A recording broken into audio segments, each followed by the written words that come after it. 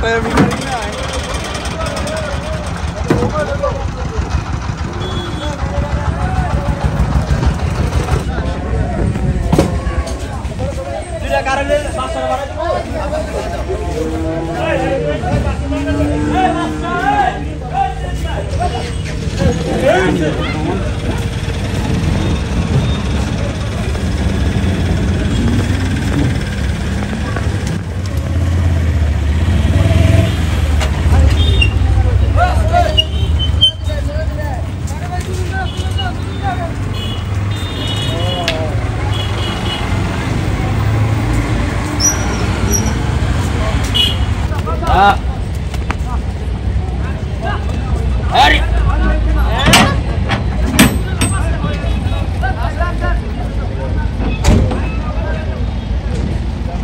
Nhân ma chút ơi.